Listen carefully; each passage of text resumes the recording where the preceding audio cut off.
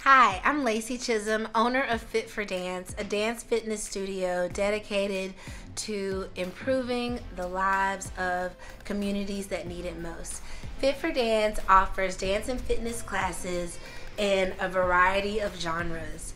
Um, we offer Haitian dance with live drumming. We offer lit fit classes. We offer boxing booty boot camp, um, soca classes, Afrobeat, all types of amazing classes to get you moving and feeling healthier and feeling strong. We also offer children's classes. One of my goals in opening Fit for Dance was creating a community and a safe space for children to feel welcome, to feel comfortable in their bodies, and to learn about dance, fitness, and other cultures, and to improve their confidence and encourage them to want to be active within their community and feel good about themselves.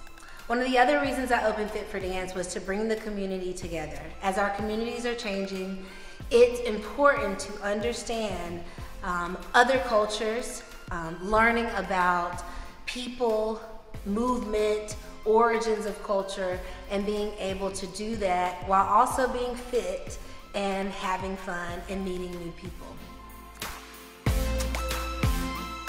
Fit for Dance is more than just a dance studio. We also support our community, and it's really important to us.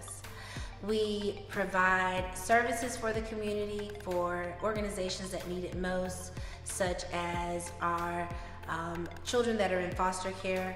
We provide classes for them. We support women that are incarcerated by providing sanitary products.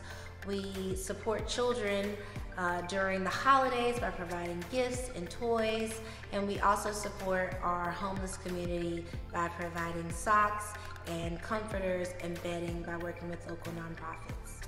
I established Fit for Dance in 2014 and we've always been in Crown Heights. It's been really important to me to stay in the neighborhood that I've called home for the past 15 years, even though my origins are in the South.